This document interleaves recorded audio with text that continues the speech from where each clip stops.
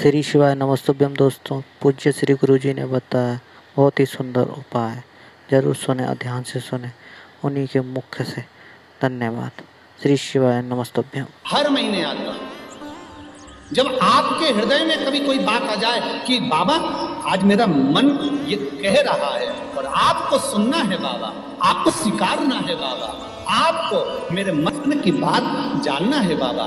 बस, हाथ में चंदन लगाया, बेलपत्री का भाग इस तरह से पकड़कर शिव जी से अपने हृदय की बात कहकर, मेरे देवादिदेव महादेव से दिल से कहकर, अशोक सुंदरी वाली जो जगह होती है, आपको बताया है, अशोक सुंदरी का जो स्थान होता है, ये शिवलिंग या अशोक सुंदरी की जगह। इस बेलपत्र को अशोक सुंदरी वाली जगह पर, जहाँ शिवलिंग है, शिवलिंग की साइड पर पहले नंबर की पत्ती का मुख होना चाहिए।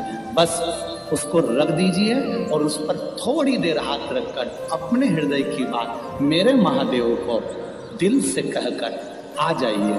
अगली सोमवार की अष्टमी या अगला प्रदोष या अगली शिवरात्रि जब आती है, मेरा महादेव आपकी मनोकामना का भाव पूर्ण करता है ये शिव तत्व है। एक बात अपने जीवन में उतार कर रखिएगा। सोमवार की अष्टमी शिवरात्रि या सोमवार। प्रदोष बन सके तुम्हारे पास में शिवालय हो या बेलपत्री का वृक्ष हो। वहाँ दीप दान अवश्य करना चाहिए। अब एक बात का स्मरण आपको रहे थोड़ा सा। अगर किसी कामना के वश अगर हम दीप लगा रहे हैं या हमारे मन में कोई भाव उत्पन्न है और हम बाबा से कहना चाहते हैं कि बाबा, मेरा ये कार्य है, आप पूर्ण करिएगा।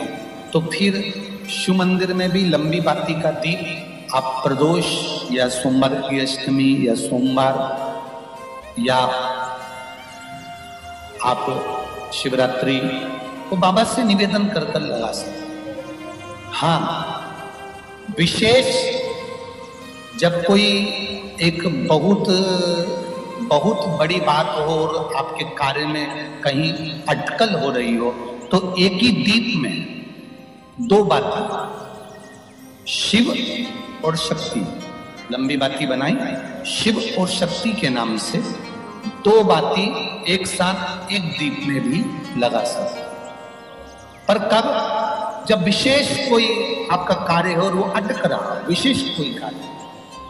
और आप बाबा से प्रार्थना कर रहे हो तो दो बाती का भी प्रयोग आप कर सकते हो। ऐसे शिव शिवाय नमस्तोभ्यम। मेरी वीडियो अच्छी लगे तो like and share and subscribe ज़रूर करें।